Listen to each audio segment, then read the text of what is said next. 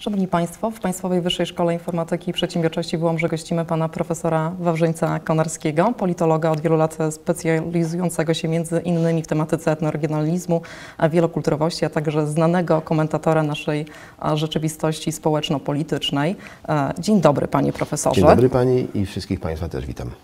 E, panie profesorze, znakomity francuski prowokator Michel Wolbeck w powieści Uległość nakreślił taką bardzo futurystyczną wizję, której punktem kulminacyjnym stał się rok 2022. Właśnie wtedy na drodze naturalnych procesów społecznych, a także przede wszystkim z wykorzystaniem procesów demokratycznych do władzy dochodzi bractwo muzułmańskie. To, co dzieje się później na scenie politycznej z demokracją nie ma już nic wspólnego.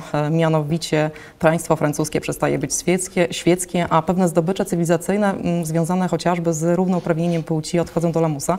A zastanawiam się, czy ta wizja literacka, kontrowersyjna, e, to jest e, tylko wizja, która nosi dodatkowo być może jakieś znamiona islamofobii i niepotrzebnie e, polaryzuje nasze postrzeganie jakby kwestii związanych z wielokulturowością, a może jest to diagnoza, która pokrywa się z tym, co na temat współczesnej sytuacji społecznej w Europie myślą także socjologowie, politolodzy. No, wiadomo świetnie, że pisarz, który jest y, kontrowersyjny i prowokujący, a takim jest Michel Ulbeck, y, znalazł sobie taką niszę, której się doskonale czuje i porusza sprawy, które są y, kontrowersyjnie odnotowywane przez opinię publiczną, zarówno w sferze stosunków męsko-damskich, a teraz już bardziej cywilizacyjnych. W związku z tym można powiedzieć, że to, iż ta książka powstała, jest z jednej strony jego własną diagnozą sytuacji, która być może napawa go niepokojem, Y, ale z drugiej strony jest to forma również chwytu marketingowego bezdyskusyjnie, tak to widzę. Mm, no bo jeśli ktoś y, dał się poznać wcześniej jako osoba, która pisze rzeczy y, mocno komentowane i czasami szokujące, to jest to w istocie w myśl reguły, że lepiej jeśli o nas mówią, nawet jeśli mówią o nas źle, że ta reguła przyświeca temu, temu pisarzowi, nie mam co do tego żadnych wątpliwości. Natomiast co do wizji, mm, problem polega na tym, że mamy, one są oczywiście bardzo złożone, mamy dzisiaj w Europie bardzo dużo y, problemów natury, y, powiedziałbym takiej, mogącej określić, co się stanie z naszym kontynentem za jakiś czas. Ja zawsze mówię moim studentom, że główne wyzwania, jeśli chodzi o kwestię wielokulturowości, w sytuacji, kiedy mamy do czynienia z kompletnie nowym fenomenem, a tym nowym fenomenem jest y, fenomen, który nazywam NWRN. To jest moje własne określenie, czyli z napływem niebiałych wyznawców religii niechrześcijańskich, y, to oznacza, że wyzwanie tego typu czyni Europę już nie tylko wielokulturową, ale wielorasową. Dlatego też wszystkie definicje na temat wielokulturowości, które wcześniej były y, przede wszystkim opracowane przez naukowców amerykańskich, gdzie zawsze się podkreśla rolę wielorasowości. Do Europy to jeszcze wcześniej nie pasowało, ale teraz już pasuje. pasuje. Bo Europa też się stała już wielorasowa.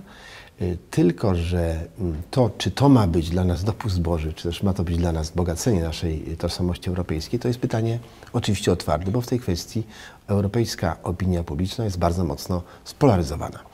I z jednej strony mamy właśnie takie publikacje jak, jak publikacja... Które dodatkowo wprowadzają ten element polaryzacji być może? Mm, tak, tak, tak. Ale wie Pani, polaryzacja dla mm, pisarza, który jest wzięty, jest korzystna, ponieważ on w ten sposób y, istnieje w y, obiegu informacyjnym.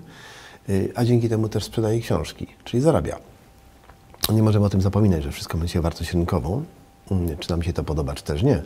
W związku z tym mm, ja nie mam wątpliwości, że Ulbeck jest osobą, która y, ma pełną świadomość tego, że z jednej strony porusza kwestie szalenie kontrowersyjne, mm, ale z drugiej daje, y, strony daje mu to godziwe życie.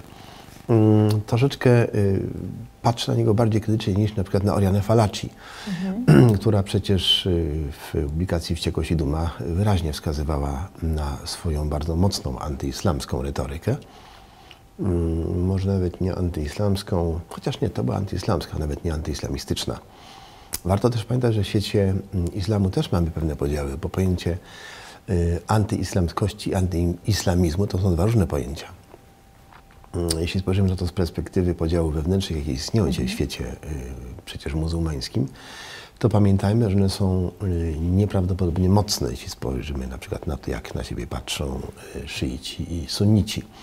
Mm, to się przekłada na rywalizację między państwami. Bardzo poważną rywalizację, która się kończy wyrokami śmierci dla osób, które są z takich czy innych powodów traktowane jako osoby niechciane albo mające wręcz znamiona szpiegów. Przypominam jedną z egzekucji, jakiej dokonano w Arabii Saudyjskiej na jednym z duchownych szyickich chyba przed dwoma laty y, związanym z Iranem. Ta rywalizacja między Arabią Saudyjską, która chce być tutaj takim wiodącym przykładem monarchii sunnickiej, a, y, Iranem, który jest przecież państwem głównie szyitów, chociaż nie wyłącznie, y, pokazuje, że to przełożenie na rywalizację między państwami ma głęboką y, kanwę kulturową, mówiąc dokładnie bliżej, religijną, tak jest. I, i, I ja pamiętam doskonale, zawsze ubolewam nad tym, co stało się z Syrią, bo miałam okazję być w Syrii wiele lat temu, chyba z 15 czy, czy 16 i pamiętam, że zwiedziłem wtedy kilka meczetów, które były sunnickie, kilka szyickich. Pewna kostyczność widziana, y, którą mo można było dostrzec y, w meczetach szyickich, była dla mnie zastanawiająca. Y, tam nie było tego nastroju, takiej radości, nie było biegających dzieci, co widziałam na przykład w błękitnym meczecie w Damaszku, czyli sunnickim to pokazywało, że te podziały są inne, że inaczej ludzie odbierają swoją religijność. I to, co z tego może potem y, wynikać. Y, dzisiaj mamy niestety fatalne konsekwencje różnych podziałów wewnętrznych, które w Syrii się przez ten czas nagromadziły, a dodatkowo są stymulowane przez szeroko pojęte otoczenie zewnętrzne, które też w tej kwestii chce swoje interesy ugrać. W związku z tym, skoro mamy do czynienia z sytuacją, w której po, musimy do tego wrócić, skoro Miało miejsce, miało miejsce słynne wydarzenie w 2001 roku w postaci mm, uderzenia samolotu w dwie wieże w Nowym Jorku. I skoro od tego zaczęła się taka bardziej y, zmilitaryzowana forma uprawiania polityki przez państwa zachodnie, głównie przez NATO, wobec Afganistanu i wobec Iraku, no to mam cały czas nieodparte wrażenie, że nie pomyślano o tym, jakie będą tego typu konsekwencje z takiej właśnie interwencji. Y, powiem teraz coś, co na pewno się wielu osobom może nie spodobać, ale ja po pierwsze byłem od początku bardzo przeciwny interwencji w Iraku. Uważałem ją za nieprzygotowaną i za opartą na hipokryzji.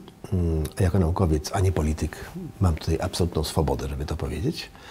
Dlatego, że wiadomo było doskonale, że mm, reżim Saddama Husajna, który był bezdyskusyjnie dyktatorem, miał też sobie zawarty pewien paradoks. Irak był, y, mimo że było to państwo dyktatorskie, było to państwo bardzo stabilne gdzie przypomnijmy, wicepremierem rządu y, Saddama Husajna był Tariq Aziz, który był chrześcijaninem.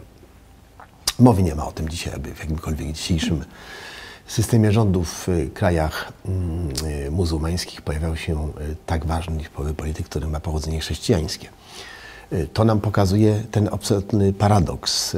Irak był państwem, które mm, traktowane było jako symbol pewnego zła, punktu widzenia rządów dyktatorskich, ale przecież Irak jest państwem siedzącym czy stojącym na ropie. Poza tym mającym wielkie wewnętrzne podziały społeczne, y, społeczno-etniczne dokładnie rzecz, chciałbym tak to, tak to ująć, i religijne, y, co y, z różnych powodów stwarzało kanwę do możliwości manipulacji Irakijczykami przez otoczenie zewnętrzne. I fakt, że Polska w tym wzięła udział, niestety nie wystawia nam najlepszego świadectwa. Nie dlatego, że Y, Husajna obalać nie należało. Można było to zrobić innymi metodami.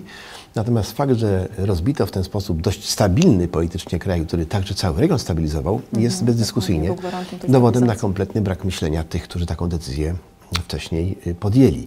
To przecież jest ważne, ponieważ to skutkowało i skutkuje do dzisiaj różnymi formami migracji, które y, są migracjami mm, wynikającymi z zapaści politycznej i mm, szeroko pojętej społecznej w takich krajach właśnie jak Irak, a teraz Syria, co skutkuje z kolei mm, wielkimi ruchami dużych grup ludzi mm, w kierunku Europy, a Europa jest kompletnie na to nieprzygotowana. Mówiąc Europa, mam, mam, mam na myśli samą Unię Europejską, ale także i generalnie nieumiejętność współpracy polityków europejskich szeroko pojętych. Mhm wobec tego wyzwania, jakim stają się te wszystkie liczne migracje. Nie ma tu żadnej spójnej polityki. Y, wiadomo doskonale, że mm, taka próba klajstrowania czy mm, ratowania sytuacji y, w Europie przed silnym napływem migrantów w postaci dogadywania się z Turcją, która, no bądźmy szczerzy, nie jest przykładem kwitnącej demokracji, oznacza ni mniej, ni więcej, że Europa musi w dalszym ciągu pójść na pewne czy chodzić, czy, czy iść na pewne, na pewne ustępstwa wobec reżimów, które są, jak powiedziałem, mało demokratyczne, co oznacza, że skala wartości jest w tym przypadku oparta, już kończę, na absolutnej względności, a nie atrybutach czy argumentach o charakterze wartości bezwzględnej, bo tak oczywiście nie jest. Jednocześnie Europa w zasadzie można powiedzieć wytraca swoją dynamikę intelektualną, to znaczy na gruncie liberalizmu wyrosło przekonanie, że możemy w pewnym sensie umówić się co do zawartości naszych przekonań, a nawet systemów prawnych. Między innymi John Rawls zakładał, że dzięki tak zwanej zasłonienie niewiedzy możemy stworzyć porządek prawny sprawiedliwy, ale to liberalne pojęcie sprawiedliwości czy pluralizmu kulturowego e, wydaje się jakby niewystarczające. Jego krytykę przedstawił między innymi Alan de Benoit w tekście Etnobójcza ideologia Zachodu, twierdząc, że ów pluralizm jest z gruntu fałszywy, ponieważ zawiera takie e, niezbyt moralnie czyste założenie i gdzieś ukryte, że ludzie pochodzący z różnych kultur są co prawda równi, e, ale już te wytworzone przez równych ludzi kultury równe nie są. I stąd na gruncie europejskim z jednej strony mówimy o prawach człowieka, a z drugiej strony e, krytykujemy te elementy kulturowe, które nie są przypisane do perspektywy europocentrycznej, na przykład poligamię. Ha, problem mamy w Europie z tym, że, nasz kontynent oczywiście się zmienia, także pod kątem y, przepisów prawnych. Pamiętajmy, że w, Polsce, w Europie są różne modele, mm, na przykład rozdziału Kościoła od państwa. E, francuski model jest bardzo mocno świecki i y, on przez pewien czas y, funkcjonował jako ten model, który miał podkreślić republikański i świecki charakter tego państwa. I y, w ten sposób między innymi zneutralizowano dość znaczące wpływy Kościoła katolickiego, na przykład na niwie edukacyjnej, która przecież y, we Francji była mocno zwalczona przez świeckie państwo. Ale jak się okazuje, z perspektywy y, późniejszego przybywania coraz nowych grup ludzi, które przecież nie są chrześcijańskie, jak powiedziałam, to moja nazwa NWRN jest tutaj celowo sformułowana, zresztą nazwy tej użyłem w paru swoich tekstach, to oznacza, że to prawo francuskie jest już niejakim, w jakimś stopniu niewystarczające. Ono nie pasuje do tego, y, jak y, może zachowywać się y, grupa muzułmanów, ale tych muzułmanów, którzy nastawieni są głównie roszczeniowo, a nie prointegracyjnie. I problem w Europie mamy właśnie z integracją. W zasadzie należałoby powiedzieć jasno i wyraźnie, że model asymilacji właściwy Ameryce XIX-wiecznej i nawet początku wieku XX kompletnie odszedł już do, do lamusa. Y, jak wiemy, sami amerykańscy socjologowie, ja też byłem świadkiem takich wykładów, y, między innymi Johna Kingdona, y, socjologa z Uniwersytetu Amerykańskiego w Waszyngtonie, stwierdzają, że Ameryka dzisiaj jest wazą z wieloskładnikową sałatą. Każdy element tej sałaty można odróżnić, ale wszystkie te elementy mieszczą się w jednej wazie. Y, to jest rzeczywiście znacząca różnica, ponieważ nie ma już tego przenikania. Mamy dzisiaj celowe szukanie kultur o charakterze pochodzeniowym, właściwym albo kontynentom, albo y, kolejnemu przypominaniu tego, kto skąd pochodzi, także jeśli jest z pochodzenia Europejczykiem. To są nowe kompletnie wyzwania, bardzo y, trudne. W Ameryce Północnej, bardziej jednak w USA niż w Kanadzie, mamy do czynienia z sytuacją pewnego wyzwania, jakie z kolei tworzą na przykład migranci latynoscy którzy są przecież mm, niechętni na przykład do akceptacji języka angielskiego. Więc y, to są wyzwania kulturowe, nie religijne w tym przypadku, tylko właśnie na przykład językowe. A warto przypomnieć, że y, jak mówił kiedyś Ernest Gellner, język jest sednem kultury. Skoro jest sednem kultury, no to się na y, ten czynnik wiele mm, grup powołuje i chce ten język utrzymać. Właściwe i bardzo ciekawe poznawczo prawo Hansena to jest sformułowane jeszcze w latach 30. XX wieku, o tym, że trzecie pokolenie wraca do źródeł swoich przodków, mm, można powiedzieć, ono nie utraciło y, jakiejś swojej aktualności. Natomiast y, dzisiaj zupełnie inne grupy mogą temu prawu podlegać, grupy, które są nastawione jednak bardziej roszczeniowo. Czyli ten powrót do tradycji przypadkiem też nie wiąże się z pewnym rozczarowaniem, tak? Naturalnie no. się wiąże z pewnym rozczarowaniem. Poza ścieżka tym... asymilacyjna e, okazuje się z perspektywy tak. tego trzeciego pokolenia tak. tą ścieżką, która nie przyniosła wymiernego efektu w postaci e, równouprawnienia e, I nie stała się trwała przez to, nie stała się przez to trwała. Pamiętajmy zresztą, że, że ruchy natywistyczne, które ukierunkowane na niechęć do nowo przybywających migrantów w właściwej XIX-wiecznej Ameryce były ruchami naskoś politycznymi, a właściwie kulturowo-politycznymi, bardzo mocno lansującymi przewagę protestantyzmu na przykład nad katolicyzmem czy prawosławiem. E, to jednakowoż było wszystko cementowane przez wspólny gorset, jakie było państwo amerykańskiej, akceptację mm, jego pozycji, akceptację systemu edukacyjnego i roli języka angielskiego, który był językiem oficjalnym i tego nikt nie negował, chociaż utrzymywał w zaciszu prywatności język y, pochodzenia, a zwłaszcza religię. W tej kwestii nie było y, właściwie żadnego, żadnego problemu. Ale to są kwestie, które oznaczają, że ten model asymilacji, y, tego melting pot się już dawno temu skończył a model integracyjny jest modelem bardzo trudnym do osiągnięcia, ponieważ, jak powiedziałam, te grupy migrujących dzisiaj osób, czy powiedzmy sobie w okresie po II wojnie światowej, w coraz większym stopniu składają się z osób, które nie mają prowiniencji europejskiej. Wcześniej migracje były jednak, były jednak wewnątrzkontynentalne, dzisiaj są transkontynentalne, o tym trzeba pamiętać. A z tym się łączą właśnie wyzwania o charakterze religijnym, no i także językowym, chociaż one są może trochę na mniejszą skalę, bo y, większość y, migrantów na przykład z krajów muzułmańskich to są ludzie, którzy się uczą języka w krajach, w których mieszkają. Ja ten przypadek znam dość dobrze z, y, ze Szwecji, czy z takich krajów jak Niemcy czy Holandia, ale jednocześnie bardzo mocno akcentują swoją indywidualną formułę na, na funkcjonowanie religijne. Przy okazji proszę zauważyć, że mamy do czynienia czasami z dość, no nie chcę mówić za ostro, ale mało, mało eleganckimi formułami, jeśli chodzi o niektóre wiodące kraje muzułmańskie, których y, pozycja jest na tyle znacząca, że mm, Europa Zachodnia, ale i Ameryka przymyka trochę oko na pewne ekstrawagancje. Przypomnę słynny, słynny pasus y, w postaci stwierdzenia jednego z ważnych mm, książąt saudyjskich, już nie pamiętam kogo, przed kilkoma laty, że y, by problem uchodźców rozwiązać, Arabia Saudyjska będzie gotowa sfinansować budowę 200 meczetów w Niemczech. No nie ukrywam, było to skandaliczne stwierdzenie, ponieważ Arabia Saudyjska jako kraj niezwykle bogaty i mogący mnóstwo zrobić y, w tym celu, żeby złagodzić ten dramat uchodźców, zwłaszcza z Syrii, nie robiła właściwie nic w tym kierunku. Natomiast zgłaszanie takich propozycji jest dość bezczelne i zupełnie nie sięgające do tego, co jest źródłem takich sytuacji. W rezultacie, proszę zauważyć, właściwie nikt w Europie Zachodniej nie odniósł się do tego krytycznie, mówiąc nikt, mam na myśli czołowych przywódców Zachodu. A którzy... czy w ogóle jest możliwe, przepraszam Panie Profesorze, że przerwałam, o wykreowanie takiej wspólnej polityki europejskiej, jeżeli chodzi o pogodzenie tych różnych dylematów, które Pan Profesor zaznaczył, bo już wiem, że wcześniej było sygnalizowane, że tego typu wspólna polityka nie istnieje. To wydaje się dość dziwne, bo żyjemy przecież e, w rzeczywistości globalnego obiegu prądów intelektualnych, mhm. E, artystycznych, E, a okazuje się, że te koncepcje asymilacji, integracji wydają się lokalne, a więc być może także uzależnione od doświadczeń na przykład historycznych czy myślowych danego kraju, danego społeczeństwa. Naturalnie, że są, bo pamiętajmy, że kraje, które mamy na myśli, pewnie Pani ma na myśli te kraje, ja również, a więc Francja, Wielka Brytania, Wielka Brytania Holandia, tak. ale i Belgia mała Belgia, która no, niestety jest y, wątpliwym przykładem y, jakościowego podejścia do kwestii kolonialnych, bo mm, przecież to, co działo się w Kongu Belgijskim, było formą ludobójstwa dokonanego właściwie poprzez nie tyle może zgodę, ile poprzez przymykanie oczu na ten fakt ze strony mm, mocarstw europejskich przed I wojną światową. To wszystko są pewne mm, grzechy, ale może i wyrzuty sumienia a może i chęć y, y, ratowania jakiejś spuścizny kolonialnej w postaci mówienia o niej w sposób inny niż w rzeczywistości y, wyglądała.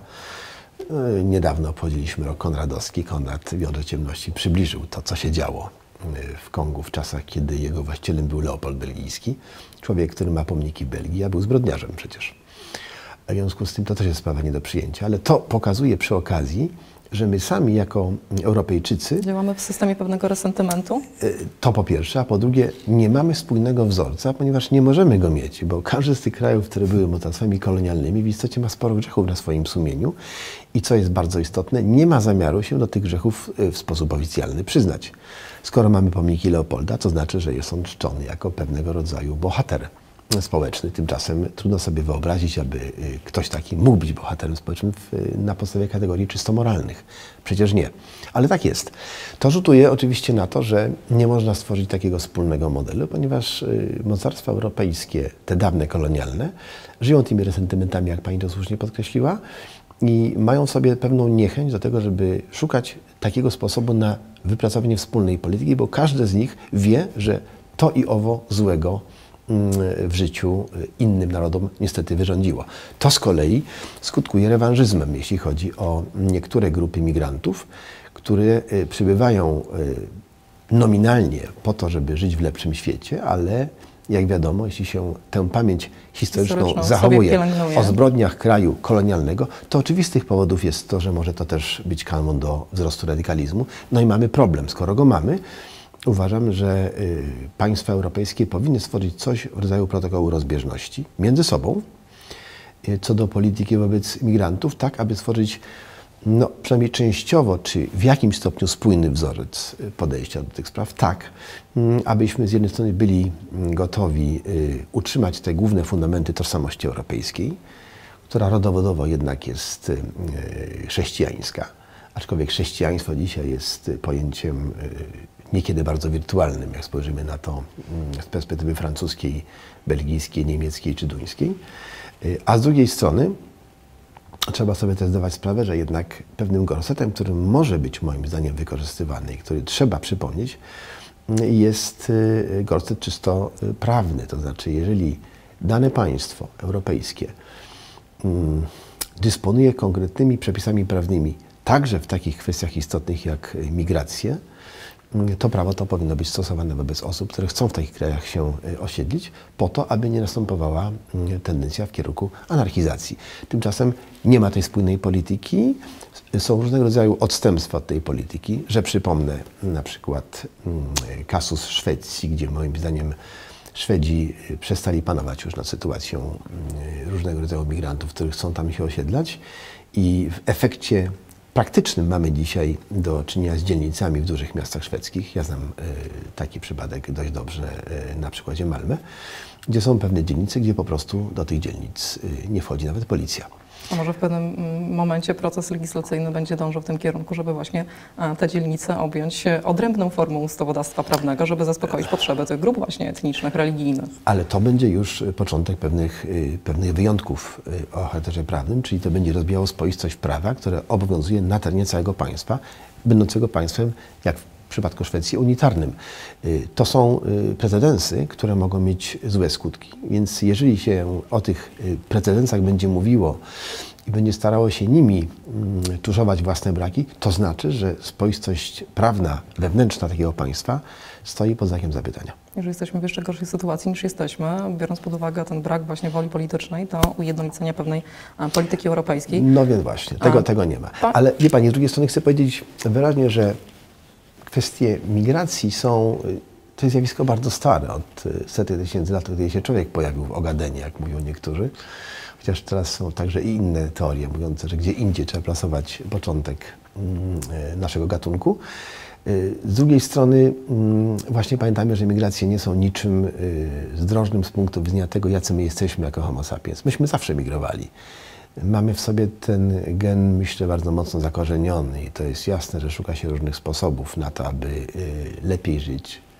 Czy to czy uciekać od na przykład jakiejś zapaści o charakterze militarnym czy gospodarczym, po to, żeby znaleźć lepszą formę na życie.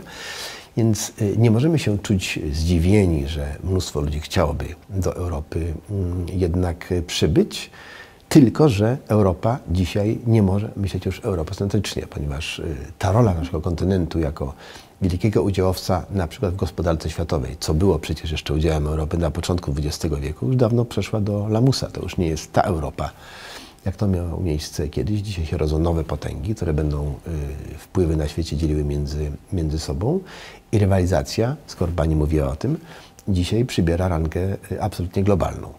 I mm, ten globalny charakter rywalizacji między takimi mocarstwami, właśnie jak y, oczywiście Ameryka, Chiny, Indie, oczywiście Rosja, Iran, który ma coraz większe aspiracje, dynamika tych procesów jest na tyle znacząca, że Unia Europejska jako ten partner, który też chce tę rolę, chce tę rolę odgrywać, musi się w tym wszystkim odnaleźć. Żeby się odnaleźć, trzeba znaleźć to, co nas może łączyć, a nie, to, co nas może dzielić. Jednym z elementów łączących Europejczyków powinna by właśnie, być właśnie spójna polityka mm, wobec migracji, tylko niestety w całym dalszym ciągu jej y, niestety nie mamy.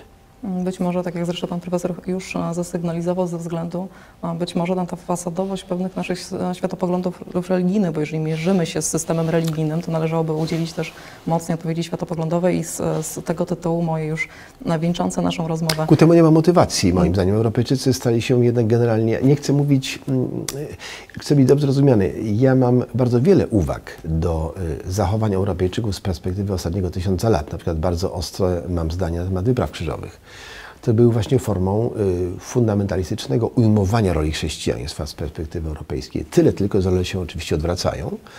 W związku z tym warto się nad tym zastanowić, co zrobić, skoro ten fundamentalizm dzisiaj objawiany będzie przez inne religie wobec nas. I co zrobić, aby przedstawiciele na przykład muzułmanów mieszkających w Europie mm, byli ludźmi, których możemy w jakiś sposób potraktować jako tych, którzy się dadzą zintegrować i którzy będą lojalni w ramach odbywającego się procesu integracji.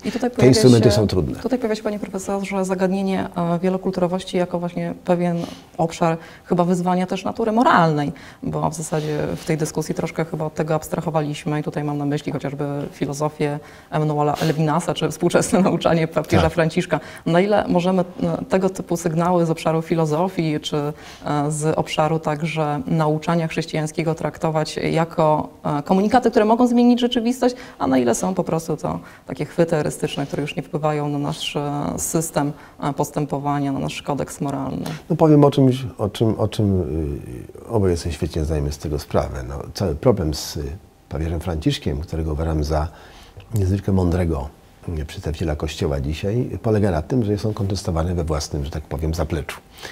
A skoro jest kontestowany, to znaczy nie można Powiem również... więcej, jest to doceniane z kolei przez ateistów i agnostyków. Tak jest, jak najbardziej, bo myślę, że Franciszek jest y, znakomicie otwarty na y, mm, te wszystkie grupy, które wcześniej czuły się odsunięte, czy y, w jakiś sposób celowo sekowane. To oznaczać może właśnie, że ten akurat dostojnik Kościoła katolickiego szuka tego, co ludzi ma łączyć, a nie tego, co ma ich dzielić. Mam jednak wrażenie, że nie jest to podzielane przez bardzo dużą część zwłaszcza hierarchii duchownych, także w Polsce. I jest to z pewnością sytuacja, która czasem no, skutkuje pewnymi skandalizującymi wypowiedziami, że przypomnę wypowiedź księdza profesora Stańka, który powiedział, że y, czeka na to, aż Pan powoła Franciszka do siebie. Takie wypowiedzi są nie tylko nietaktowne, one źle świadczą o umiejętności polskiego Kościoła, który powinien być w tych sprawach o wiele bardziej otwarty i powinien demonstrować taką linię myślenia, która będzie jednak w dużym stopniu zbieżna z pomysłami Franciszka na to, aby świat był bardziej połączony, a nie bardziej podzielony. I będzie jakąś formą chyba też egzegezy biblijnej, prawda? Naturalnie, naturalnie, oczywiście, że tak. Wiesz, to jest, to jest właśnie, o, mam wrażenie, że dzisiaj co do Biblii to, to wiele osób y, w ogóle do niej nie sięga. Poza tym pamiętajmy jednak, że Biblia też ma w sobie pewnego rodzaju mm, problem, ponieważ jest to wszystko jednak zespół bardzo ciekawych y, opowieści spisanych no, dużo, dużo dłużej, dużo, dużo po, po tym, kiedy miało miejsce męczeństwo Chrystusa i wszystko to, co się wydarzyło na początku kształtowania się religii chrześcijańskiej. I temat tej źródłowości zawsze będzie dyskusyjny. Panie no profesorze, będzie. dziękuję za dzisiejszą ja rozmowę. Ja również dziękuję Pani bardzo. A moim Państwa gościem był Pan Profesor Wawrzyniec-Konarski. Dziękuję raz jeszcze.